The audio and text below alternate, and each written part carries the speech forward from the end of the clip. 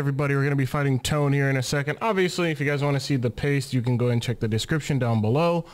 But we're going to go and get started in a second here. Let's see what Tone decides to bring. Um, obviously, the season hasn't gone the greatest for me. Uh, you know what? I don't have time for that. Did not bring the Oricorio brought Swalot. That is completely fine. But everything else we got correct because it felt kind of obvious that he was going to bring those mons. Um, not like in a bad way, just like in a his team's kind of top heavy way. Season hasn't been going that great for us. I'm not gonna lie to you, but I would like to try to close out these last few games with wins, but we'll see how that goes. Um, but knowing what I know, I already got everything typed out. I just need to relook at some team builder here. Okay. So I I could easily just lead Iron Valiant and just start blasting, but I feel like that's too much. There's a chance though if I lead off Grimmsnarl that could be a really good decision. I'm expecting like Swalot or um Swalot, uh Gholdengo or um Great Tusk lead, but if I get off the Cyclizar into my Iron Valiant will be good. I think, however, Bronzong might be the wave. if we go hard Bronzong first, what's he gonna do? Oh, we gotta choose our Mons. Actually, I'll just lead off with uh, Mike White and see how it goes.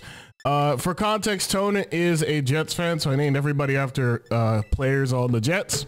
And I'm a Giants fan, so we're kind of on two ends of the same the same circle. so GLHF to Tone, my brother. Uh, not literally, but you know, we, we you know, it's it's when I'm recording this, it's about it's the end of Black History Month. When you're seeing this, it's March. So Hey man, you know, that's my brother right there, bro. All right, we're gonna see Gholdengo lead, which is fine. I could see Trick coming out here, which is also fine. I don't mind losing my leftovers in exchange for going for Earthquake here. Um, only because on his end, there's nothing that wants to take an Earthquake, so I can just go ahead and Earthquake. I don't mind losing my item in response to this. Because at very minimum, even if I do lose it, it's not bad and everything else on his team doesn't want to take an earthquake, especially if I'm if I'm stuck into it, if he tricks me. But also like something at Roaring Moon can't set up on me that much yet. So it's gonna trick, which is obvious. Um, so we are gonna go ahead and get the choice spec or choice scarf rather. That's fine. Uh, could give us a chance to outpace Swalot, but I don't think we do. We are just gonna earthquake here, get us some really valuable damage. Um, doesn't tell us much here. He is going to take our leftovers, obviously. And since now we are choice scarf, I can go ahead and put that in here.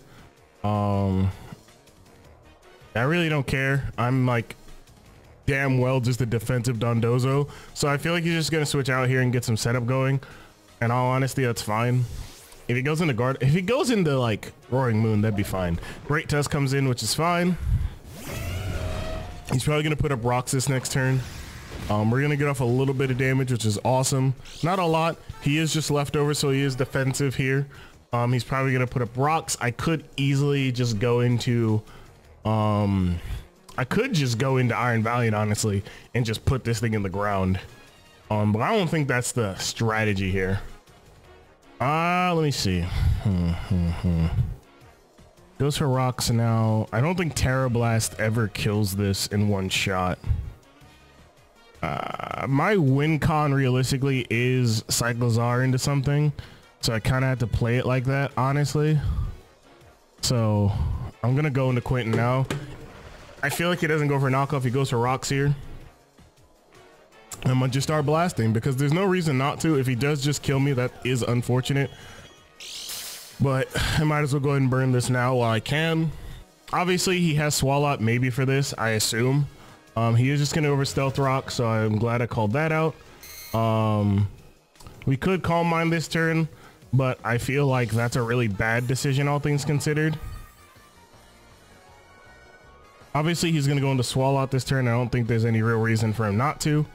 Um, Swalot. I don't even know what this Pokemon really fucking does. But if he's like Spadef, Swalot, how much do we do to that? Uh, just go over here, Iron Valiant.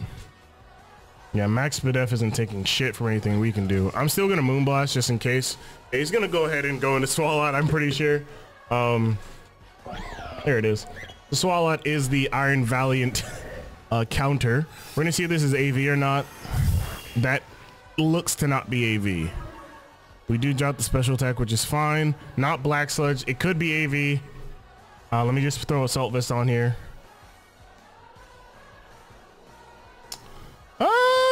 That depends on his nature as well as what his investments are, but okay. Um, we're to switch out here. I don't really need the booster energy on this anymore. I'm to go into Carter.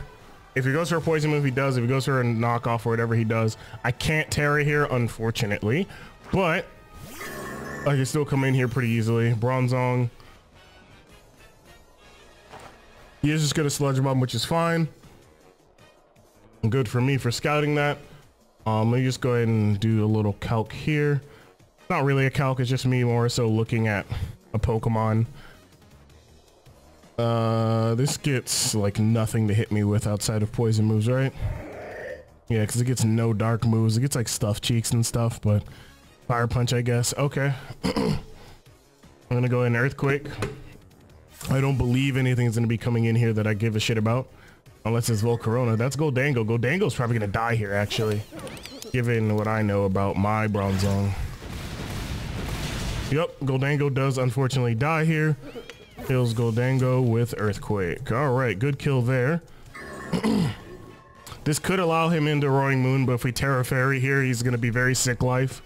Um, so I hope he doesn't go Roaring Moon, only on the practice that he shouldn't go into Roaring Moon. If he goes Roaring Moon, I'm picking up a second kill.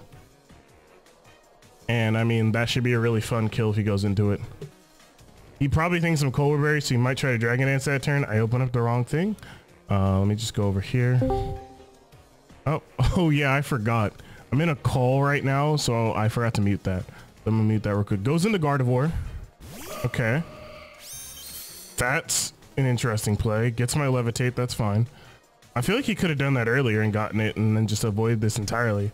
Uh, I am going to go ahead and just go for Gyro. I feel like that's a fine play. I lose nothing in this situation, I feel like. The Shadow Ball isn't going to kill me at all.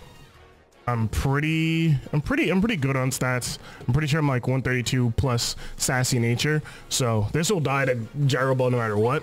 Shadow Ball will not kill us. yeah, 164 down to 64 is a is interesting damage. We should kill this. Oh my god! Why did he eat that?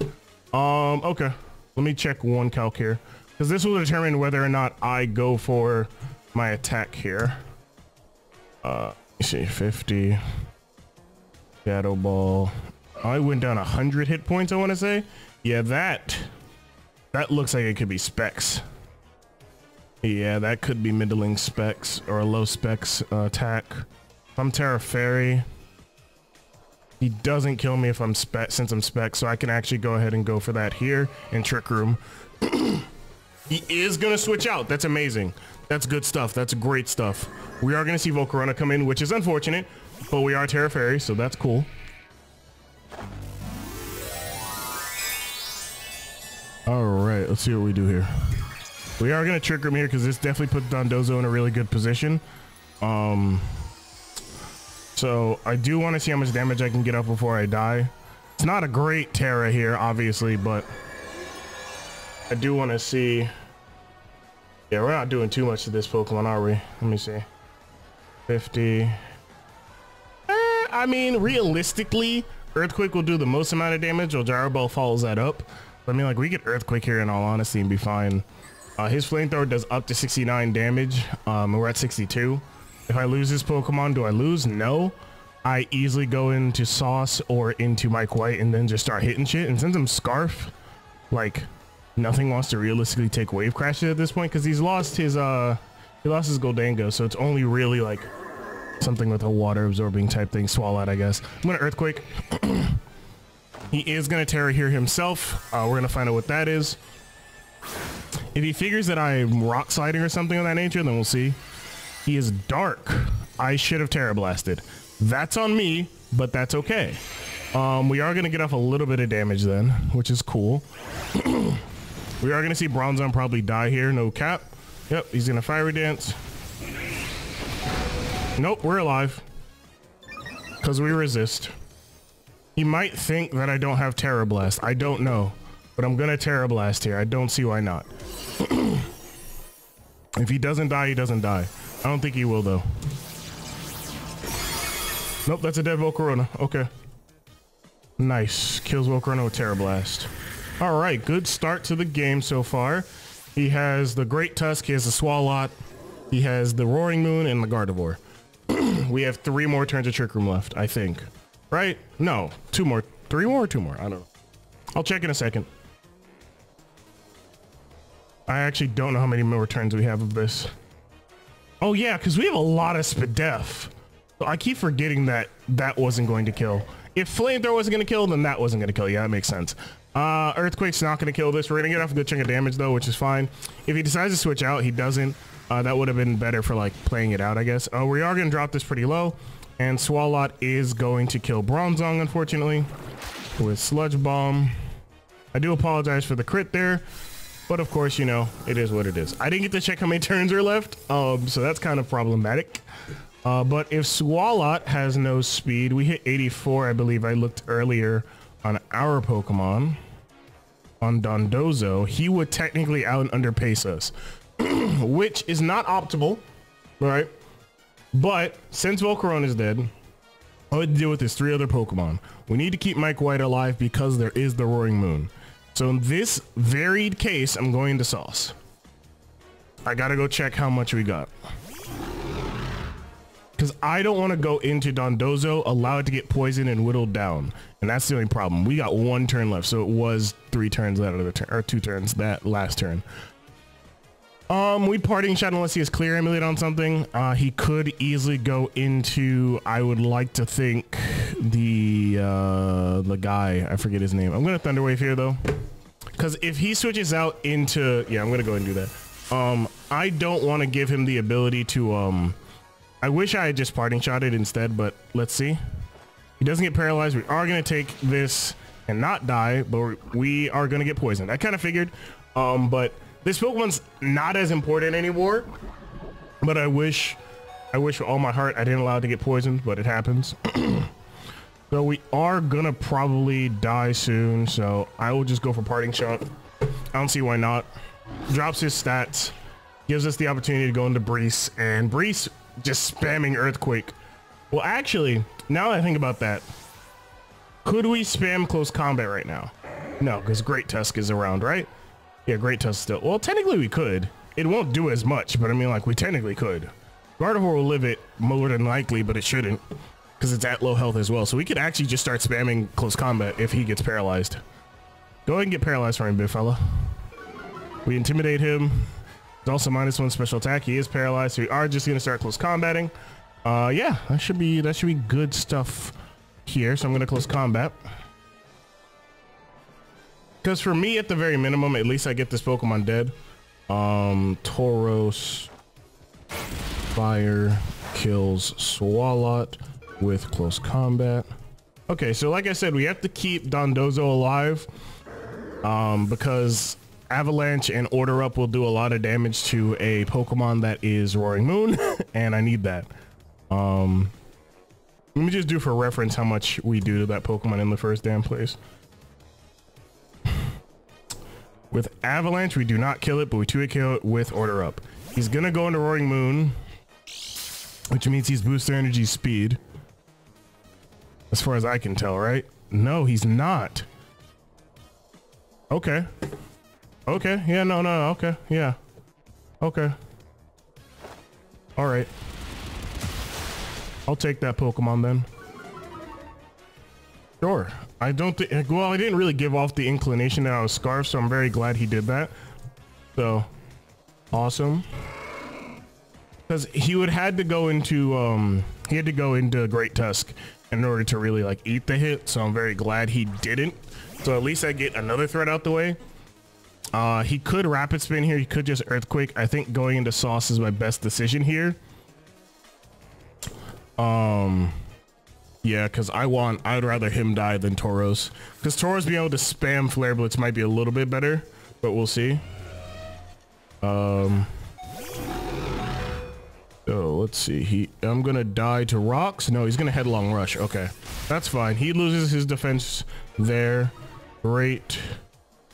Tusk kills Grimmsnarl with headlong rush. I cannot type correctly. All right.